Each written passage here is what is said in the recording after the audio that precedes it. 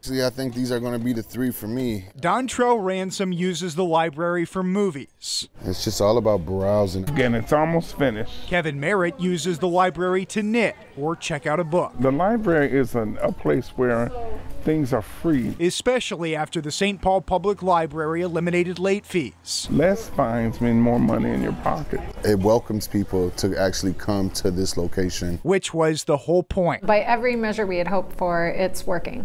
Library Director Catherine Penkert and teen specialist AJ Ragland report a boost in circulation, especially in low income areas where fines had a disproportionate impact. I get patrons in all the time who are just so happy that they can Uh, visit again.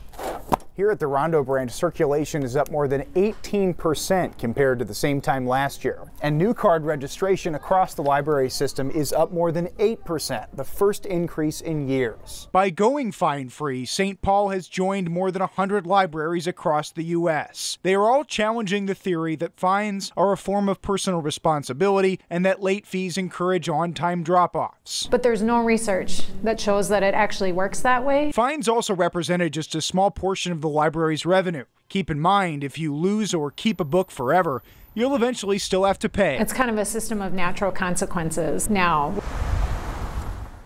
So, as a lover of the library and someone who always mm. has late fees, I just want to yeah. know: is this catching on in like Minneapolis or in some counties? You know, here we've seen it in Washington County for a while. Duluth actually just started doing it. Uh, Hennepin County has talked about it, and uh, some of the other big cities across the country. Chicago, that was a big headliner yeah. uh, just recently when they decided to go fine free. It's interesting that they say there's no real research that this actually motivates people to get their books back in time. So yeah, they figured that this is a better way to do it. Awesome. Thanks, Dan.